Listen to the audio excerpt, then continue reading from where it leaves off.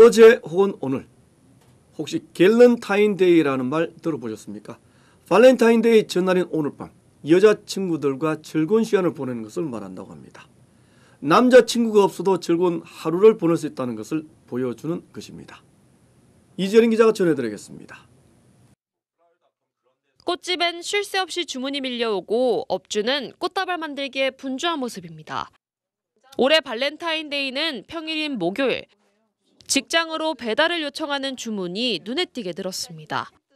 부모님 거 하고 와이프 거 하고 그렇게 사가시는 분들은 간혹 좀 있으세요. 몇 분이 있으세요. 초콜릿을 판매하는 상점들도 특수를 톡톡히 누리고 있습니다. 아, 작년보다는 젊은 분들이 어, 초콜릿을 많이 찾는 것 같아요. 발렌타인을 맞아서. 타운의 한 대형 마켓에는 새로운 문구가 눈길을 사로잡습니다. Girls와 발렌타인데이를 합쳐 생겨난 신조어 갤런타인데이입니다. 발렌타인데이 전날인 오늘 여자들끼리 즐거운 시간을 보내자는 의미에서 생겨난 새로운 기념일로 유행은 확산되고 있습니다. 발렌타인데이에 이어 갤런타인데이까지 반짝 특수의 타운 내 업소들도 잔뜩 기대하는 모습입니다. LA에서 SBS 이재린입니다.